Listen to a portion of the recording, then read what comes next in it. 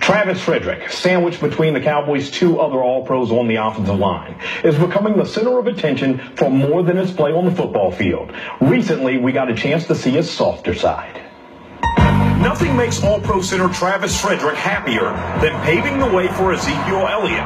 But Zeke's not the only one Travis wants to see fed over and over again. Uh, the thought of uh, a kid going to school hungry and hearing the statistics, one in four children in Dallas are hungry, it gives you no opportunity to be successful in life. And so what we want to do is help provide opportunity. Travis is tackling the dilemma through his Blocking Out Hunger Foundation and by teaming up with Tango Tab, a free app that donates the cost of a meal to a local pantry every time you eat at a participating restaurant. When you don't feed a child, they can't learn. So effectively, we're causing a future generation to fail. And that's our failure. Failure is not an option for Frederick when he looks at his wife Kaylee and their 13 month old son Oliver.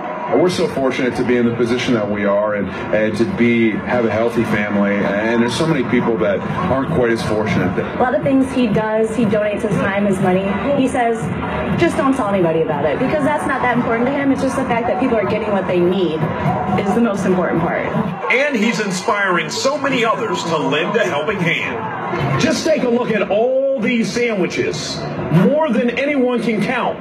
But think, they'll all be distributed within a few days, and more will be needed, more than anyone can imagine.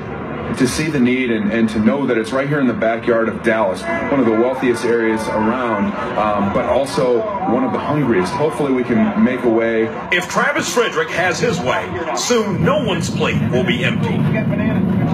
You know, that event was held at Gordon Biersch on Park Lane in Dallas. They made almost 15,000 sandwiches that day. Wow. And I think what Travis said holds so true that it's so hard to wrap your mind around the fact that in such a great area to live and, and relatively affluent area, how does hunger like that exist? But the reality is, is that it does. The numbers are really shocking. One and four. He kept saying Wow. one and four. All right, great. Way to go, Travis. Great to shine a light on that. Keith, thank you so much. Thank you, Keith. We'll be right back.